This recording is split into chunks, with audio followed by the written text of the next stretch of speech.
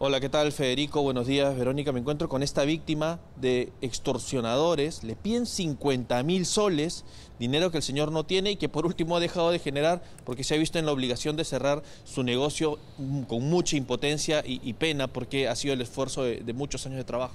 Eh, buenos días, eh, Federico y, señor, y Verónica. Eh, desde que vengo desde el día 10 de julio vengo con amenazas, amenazas que no le hice caso y el día 12 se atrevieron a atentar contra mi negocio. Me pusieron una petarda, me volaron el negocio, me cerraron el negocio, me tuve que retirar de la zona, pero ni con eso agarraron y em, balearon la casa de un pariente.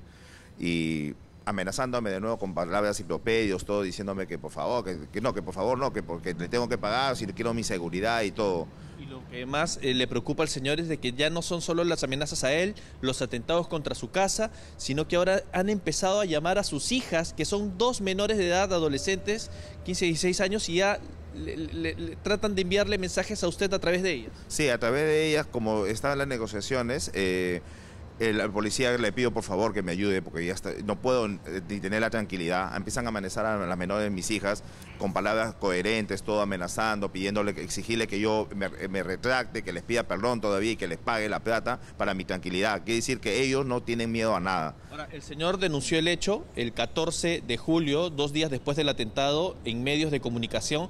Luego lo denuncia en la División de Investigación de Secuestros y Extorsiones de la IRINCRI.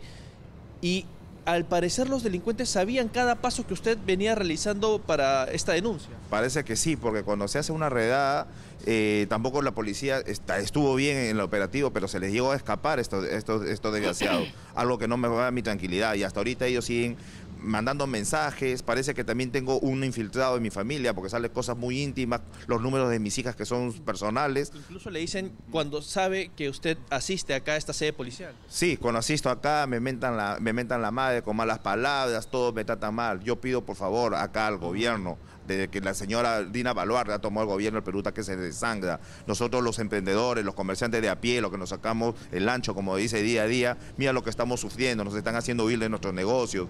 El Perú va a caer porque toda la gente está huyendo por este miedo, por esta violencia que hay en nuestro país. ¿Usted va a querer poner un negocio nuevamente viendo lo que le ha pasado? No, yo aún no está con planes de huir de acá del país, porque mira todo lo que está eh, eh, suscitándose ahorita en, nuestro país, la violencia ya, ya no tiene ni miedo, usted ha visto. Yo ya me fui, ya me alejé y ahora se agarran con mi familia. ¿De qué estamos hablando? No tenemos seguridad de nadie.